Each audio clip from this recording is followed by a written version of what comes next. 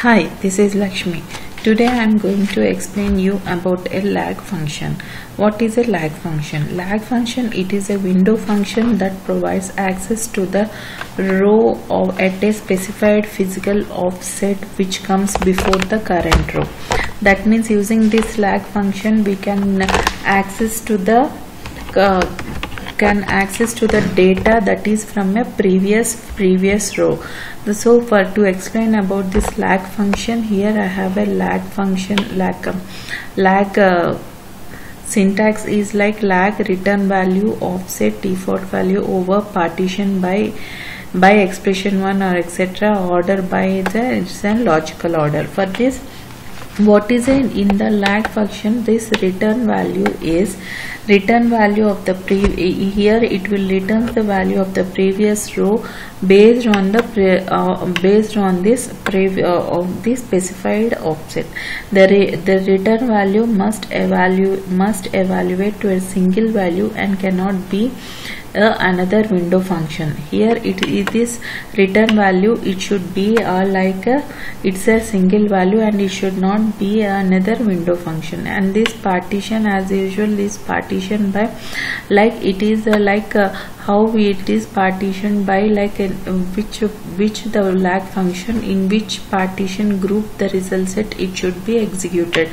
And this order by is a logical order in which it is in a uh, like in which it should be like uh, placed here uh, for to explain about this I have a table called employee salary. Here I am going to calculate the increment of that particular employer uh, of that particular employee. Here I have employee year of joining and employee salary.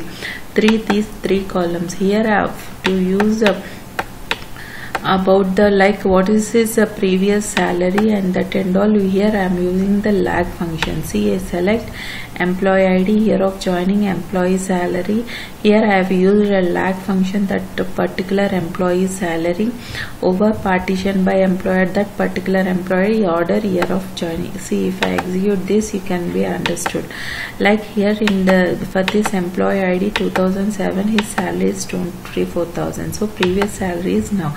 Null means it, it, for that previous uh, uh, lag function it does not have any value. So it has uh, given as a null value. And the same for the same employee in 2018 his increment his salary employee salary is 28000 here that uh, it calculated the lag function that it is the previous salary of his is 24000 here that is how this uh, that lag function is applied here. Means that it uh, it it calculates it like what is this lag function does it access the data from the previous row. Matlab means here uh, uh, employee salary it calculated this employee salary of the previous uh, previous row data it has come to to this um, uh, to this column like a lag function. This is how here it executed the lag function. And again like this here is the lag function. It executed like employee salary of that previous year is 24000 uh, is it is 28000 so he, he got that uh, lag function output as a 28000 see this is how this lag function is applied here.